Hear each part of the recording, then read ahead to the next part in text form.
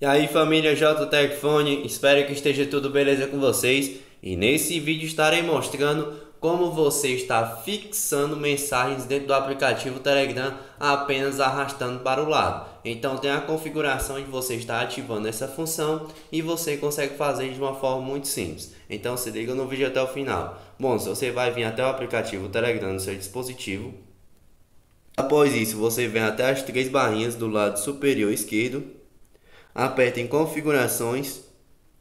E dentro de configurações você procura por configurações de chats.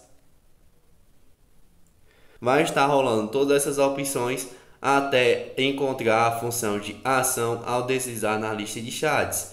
Aqui dentro você vai estar aparecendo várias opções e você vai procurar pela função de fixar.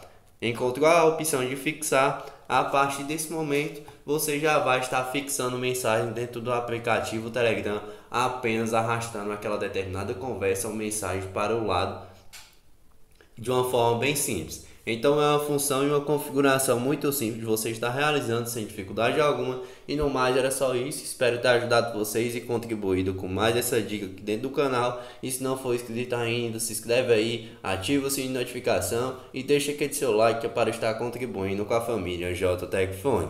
E até a próxima pessoal.